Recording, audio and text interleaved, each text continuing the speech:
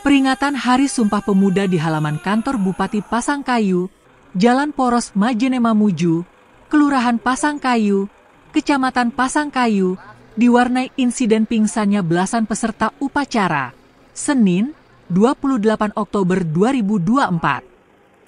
Belasan peserta yang pingsan itu berasal dari siswa dan aparatur sipil negara. Dari pantauan tribunsulbar.com, di tengah upacara berlangsung, satu persatu peserta upacara yang dehidrasi keluar dari barisan dan dibopong oleh petugas medis masuk ke ambulans. Bahkan beberapa peserta ada yang terpaksa digendong masuk ambulans akibat pingsan untuk diistirahatkan.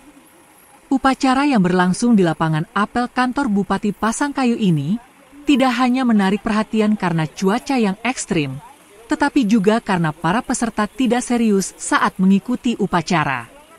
Nampak siswa-siswa berlindung dari sinar matahari yang menyengat, sementara beberapa ASN juga berusaha melindungi diri dengan kertas yang dibawa ke lokasi upacara. Bahkan beberapa peserta upacara ada yang jongkok sambil bercerita.